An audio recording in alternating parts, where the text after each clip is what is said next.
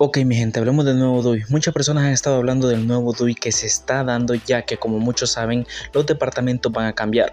Ahora van a ser 44 en total las alcaldías que van a haber en todo El Salvador. Sin embargo mi gente esto ha causado bastante confusión. Muchas personas están diciendo bueno y ahora cómo vamos a hacer con el DUI, todo va a cambiar, qué está pasando ahora, vamos a tener que ir a renovar el DUI, vamos a tener que ir a comprar un nuevo DUI, pero no mi gente todo va a ser igual. El DUI que tú tienes en tus manos, ese DUI que has usado para todo, va a ser el mismo que vas a seguir usando. Renovar el DUI para tener uno nuevo de los que están viendo aquí en pantalla es totalmente opcional. No hay necesidad de irte ahorita mismo a un DUI centro o a cualquier establecimiento a sacar tu DUI porque es totalmente opcional DUI siempre va a seguir funcionando. Obviamente mi gente, las personas que van a ser mayores de edad este año y el siguiente y así sucesivamente van a tener el nuevo DUI. ¿Por qué? Porque va a ser primera vez que van a ir a sacar su DUI. Este nuevo DUI mi gente con el pasar de los años va a ser totalmente el que va a estar en todos lados.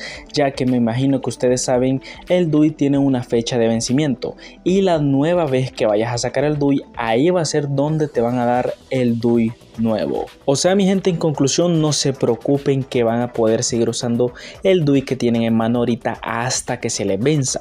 Cuando se les venza y lo vayan a renovar, ahí les van a dar el DUI nuevo. Sin embargo, si tú, digamos, quieres ir a sacar el nuevo DUI, digamos, tú dices, no, es que yo quiero ya tener el nuevo y toda la cuestión, pues ve a sacarlo. Es totalmente opcional. Mi gente, los salvadoreños tenemos que adaptarnos a estos nuevos cambios, porque todos son en pro del pueblo salvadoreño. ¿Para qué queremos tantas en El Salvador. Más de 200 alcaldías, mi gente, para un país tan pequeño. Con 44 sobra y basta. Así también se controlan las corrupciones que pueden haber en la alcaldía y también se controla, mi gente, el gasto de dinero de cada alcaldía, ya que va a ser mucho menos, va a ser mucho mejor para el pueblo salvadoreño. Pero bueno, dime tú qué opinas. ¿Te parecen todos estos cambios que está haciendo el presidente Nayib Bukele? Déjame ahí abajo en los comentarios tu opinión. No olvides también suscribirte que es totalmente gratis. Yo soy Douglas y si este es mi canal.